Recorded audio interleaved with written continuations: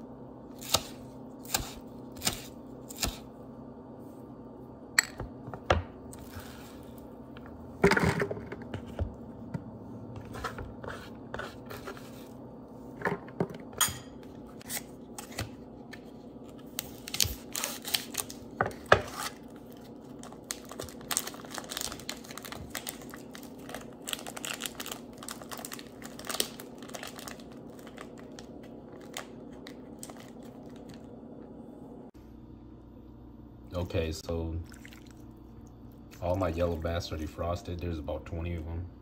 They're not that big. That's why it just looks like this, but yeah, they're like just baby size. So how I filleted them was left the tail, left both sides of the fillets on here. Let me see if I can get a, yeah, so ba basically it's just like this both fillets are still intact. Like that. Planning to deep fry them and then I'm gonna try to make some deep fried fish laab with these. And we'll see how that goes. Okay, so for the frying process, I'm just gonna keep this one as simple as possible. Just got the fish and some egg. And then just gonna dip it in some flour and then into the oil for this dish. Keeping it simple for the fried process. So we'll see how that turns out. All right, just dropped my first batch in the oil. So far they're looking pretty good. We'll uh, keep you guys updated on the finished fried product. All right, guys, this is the finished product of the fried yellow bass.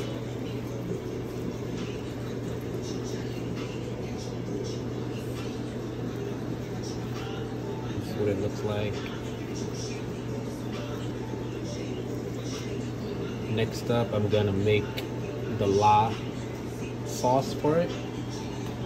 Then I'm gonna pour it over and see how it looks, what turns out. This is gonna be my first time, so let's hope for the best. All right, so I have some lime juice right here. I'm just gonna go ahead and squeeze them into a bowl.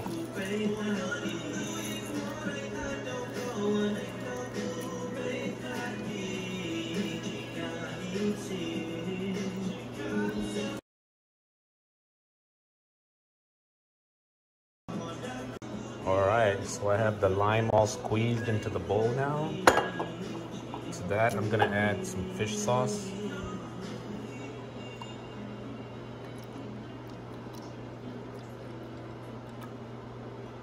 Should be about good. Next up, I'm gonna add some chopped lemongrass. These are already pre-chopped. You can chop your own, of course, if you don't have these.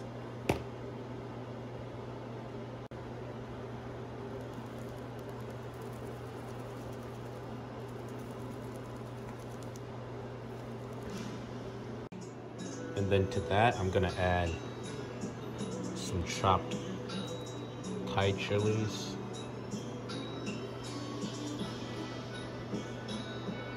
And I think that's all I'm gonna add for now. I'm gonna go ahead and mix it, taste it, and then see if I need to add any more. All right, so I've transferred the fish into a mixing bowl. I'm gonna slowly pour the sauce in and uh, toss it in just slightly.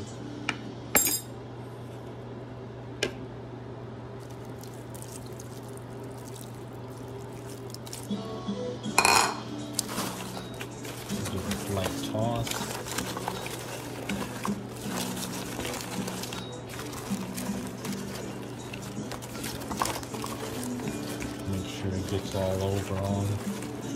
Make sure it gets on all. Make sure that covers up all the fish. Make sure they all get a little bit of sauce on them. And then once I'm done with this, I'll finish with some garnish.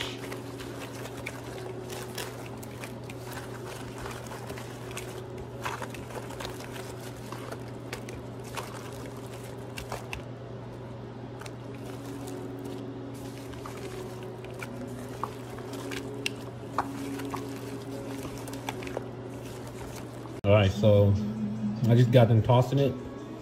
Drained out the excess liquid. Don't want it to be too soggy. Um, gave it a taste. It tastes pretty good already. But main part of uh, laab is some rice powder, roasted rice powder. So I'm gonna go ahead and add some of that. If you guys don't have it, you can roast your own as well.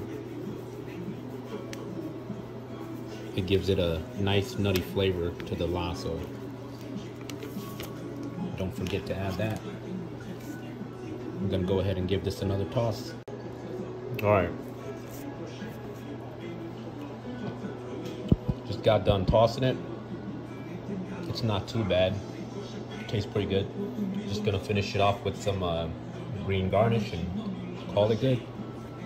Okay, I'm just got done adding the garnish. Um, it's mint, cilantro, green onions, and cilantro. Don't be afraid to add a lot of garnish because the more the better. Adds it adds uh, that freshness to it. I'm just gonna go ahead and toss this and plate it and get it ready to go. All right, just got done plating the yellow bass laab. Ready to go.